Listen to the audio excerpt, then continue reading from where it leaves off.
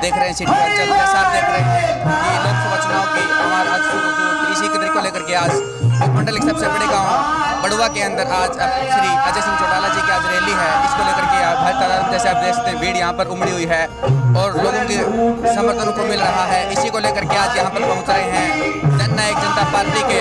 अजय सिंह चौटाला जी। यहाँ पर सविता यादव के समर्थन के अंदर यहाँ पर की लोगों से अपील करेंगे और लोगों से भारी जन समर्थन की यहाँ पर मांग कर रहे हैं। भारी तादाद में यहाँ पर अगर आप देखेंगे तो लोग आपके बीच हैं और एक अच्छा माहौल आपको यहाँ पर देखने को मिलेगा।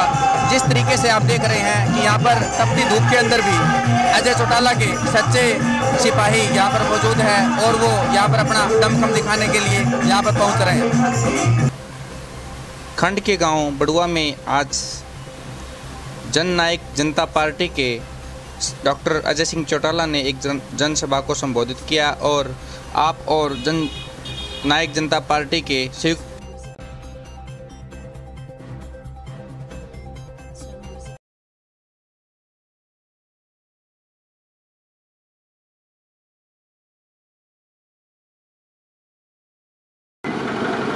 और मंच पर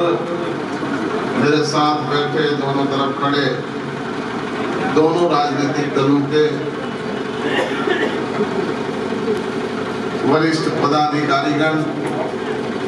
वरिष्ठ सक्रिय कर्मठ और निष्ठावान कार्यकर्ता साथीगण किस किस का नाम लेऊं सारे मेरे हीरे मोती जवाहरात साहब उन्होंने इशारों इशारों में नाम न लेते हुए कहा कि यहाँ से मौजूदा विधायक को मैंने पहले चेयरमैन बनाया, उसके बाद एमएलए बनाने का काम किया, लेकिन अब मैं ये कहता हूँ कि आई तो हूँ।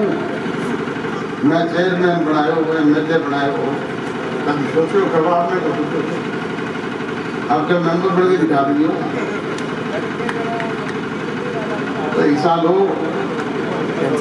तरह तरह की बात करके गुमराह करके सिर्फ़ वोट हासिल करना इस दौरान जननायक जनता पार्टी में आए विभिन्न अन्य दलों के नेताओं का भी उन्होंने स्वागत किया और कहा कि इन सभी नेताओं को अपनी जननायक जनता पार्टी में भरपूर मान सम्मान दिया जाएगा। इस मौके के ऊपर उनके साथ कई आम आदमी पार्टी के स्थानीय नेता एवं जननायक जनता पार्टी के वरिष्ठ नेतागण उपस्थित थे।